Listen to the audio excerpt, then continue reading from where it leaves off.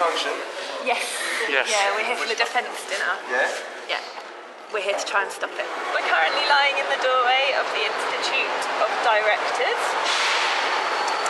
We're here. Stopped a few arms dealers going in. Yeah, unfortunately we couldn't afford the nearly £200 ticket. Um, instead we thought we'd try and stop them. It's been quite effective so far, I think.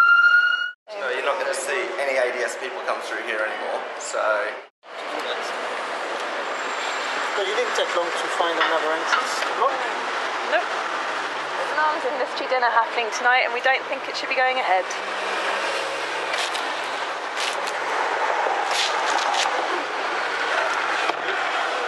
Not if you're going to try and sell weapons over dinner. No, we're not trying to sell weapons over dinner. We're trying to defend you. Defend Uh, us against who? People in countries How, like how does Bahrain selling and Libya, Libya? how does that work?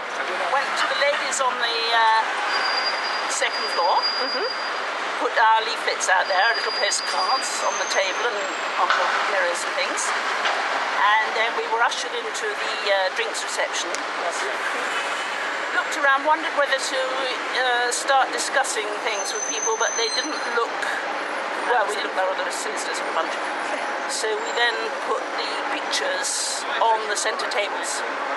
Lovely. Then barged into the dining room where they were still putting butter on the tables and things like that, and left pictures on each of the numbers in the middle of the table and on the um, stand where they were going to make their speeches. So it's the sort of thing which I hope will put them off their dinner. And where's your companion right now? She's with the other two lying in front of the second door.